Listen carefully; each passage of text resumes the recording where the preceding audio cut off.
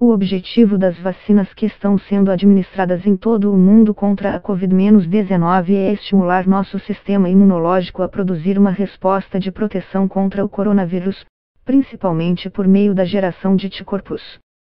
Esses anticorpos circulam em nossa corrente sanguínea até que sejam necessários para atacar e eliminar rapidamente o coronavírus do organismo, caso sejamos infectados. A velocidade com que as comunidades médicas e científicas desenvolveram e testaram essas novas vacinas foi extraordinária. No entanto, essa pequena escala de tempo nos deixa com algumas perguntas em aberto. Uma das questões-chave é por quanto tempo vai durar a proteção que recebemos da vacina ou até mesmo da infecção pelo próprio vírus. Já sabemos, por exemplo, que os níveis de anticorpos caem muito rapidamente após uma infecção por Covid-19. A notável capacidade do nosso organismo de lembrar de encontros passados com microorganismos infecciosos e de manter fortes defesas contra eles se deve ao fenômeno da memória imunológica. Esta memória reside nos glóbulos brancos conhecidos como linfócitos, dos quais existem dois tipos principais: células travessa e células B. Quando o corpo se depara com um novo desafio, seja uma nova infecção ou uma vacina, células travessa e células B específicas são recrutadas para enfrentá-lo. O corpo mantém versões de memória dessas células de prontidão para o caso de voltar a encontrar o mesmo microorganismo no futuro. São as células B as responsáveis pela liberação de anticorpos na corrente sanguínea. Quando ocorre uma infecção ou quando somos vacinados, Alguns desses anticorpos se metamorfoseiam em fábricas especializadas de produção de anticorpos, conhecidas como células plasmáticas. Os anticorpos são proteínas e, como qualquer outra proteína, serão decompostos e eliminados naturalmente do corpo em alguns meses, no máximo. É por isso que a proteção dos anticorpos que recebemos passivamente, por exemplo, de nossas mães no útero ou por meio do leite materno não dura muito. Para uma proteção de mais longo prazo, precisamos produzir anticorpos por conta própria. A capacidade do nosso organismo de manter os níveis de anticorpos após uma infecção ou vacinação é resultado de dois mecanismos. Nos estágios iniciais, se as células B de memória detectarem qualquer infecção persistente ou uma vacina, algumas vão continuar a se transformar em novas células plasmáticas produtoras de anticorpos. Uma vez que a infecção ou vacina tenha sido completamente eliminada, as células B de memória não reabastecem mais a população de células plasmáticas, que diminui.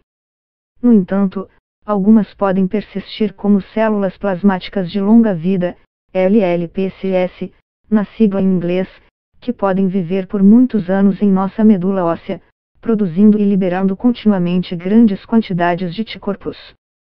As LLPCS nem sempre são geradas após uma infecção, mas, caso tenham sido, os anticorpos contra uma infecção específica podem ser encontrados na corrente sanguínea muito tempo depois de a infecção ter desaparecido. Embora ainda não entendamos completamente que condições de imunização são melhores para gerar LLPCS, a presença dessas células foi associada a determinados locais do corpo.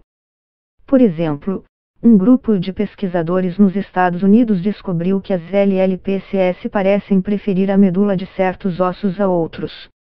Dez anos após a vacinação contra o tétano, as LLPCS foram encontradas no fêmur, húmero e tíbia com muito mais frequência do que nas costelas, rádio, vértebras ou crista ilíaca. Ainda não está claro por que as LLPCS preferem a medula desses ossos. Uma possibilidade interessante é que a resposta esteja nas diferenças no nível de gordura da medula óssea. As LLPCS foram encontradas rodeadas por uma grande quantidade de células adiposas nesses ossos. Isso sugere que pode ser o conteúdo de gordura da medula óssea que afeta a capacidade das LLPCS de se deslocarem para certos ossos e residirem a longo prazo neles. Mas mesmo que as LLPCS não sejam criadas, isso não significa que alguém não possa gerar mais anticorpos contra uma ameaça se a encontrar novamente no futuro. Desde que a pessoa tenha gerado células B de memória, estas vão reconhecer a ameaça e, mais uma vez, algumas vão começar a se transformar em novas células plasmáticas para iniciar novamente a produção de anticorpos. Há muitas razões pelas quais a vacinação ou infecção nem sempre oferecem uma proteção duradoura. Isso se deve em parte à variação individual na nossa resposta a uma determinada vacina. No entanto, as características das vacinas também determinam a natureza da resposta dos anticorpos. Um estudo mostrou que, embora uma proporção maior de pessoas que tomaram vacinas contra tétano e difteria desenvolveram anticorpos protetores, esses anticorpos desapareceram mais rapidamente do que aqueles gerados pelas vacinas contra sarampo, cachumba ou varíola. A principal diferença entre esses imunizantes é que as vacinas contra o tétano e a difteria contêm apenas proteínas isoladas, versões modificadas das toxinas produzidas pelas bactérias do tétano e da difteria, enquanto as vacinas contra o sarampo, cachumba e varíola contêm versões vivas e enfraquecidas desses vírus.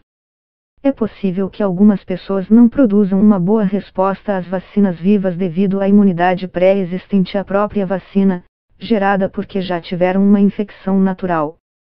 No entanto, aqueles que respondem bem tendem a manter suas respostas por mais tempo. Isso se deve em parte à persistência da vacina viva no corpo, que estimula a reposição em curto prazo das células plasmáticas. Também é provável que as vacinas vivas sejam melhores na produção de LLPCS. Já vimos que a taxa de declínio dos anticorpos após uma infecção por Covid-19 pode diferir, por exemplo, entre homens e mulheres. Muitas das vacinas contra a doença são baseadas em novos métodos, como vetores virais ou moléculas de RNA mensageiro. Claramente, esses mecanismos são muito eficazes em oferecer uma proteção rápida. Mas resta saber quão bem eles vão ativar as células B de memória e as LLPCS para conferir uma imunidade de longa duração. Asterisco Este artigo foi publicado originalmente no site de notícias acadêmicas de Conversation e republicado aqui sob uma licença Creative Commons. Leia aqui a versão original, em inglês. Steven Smith é professor de ciências biomédicas na Universidade de Brunel, em Londres.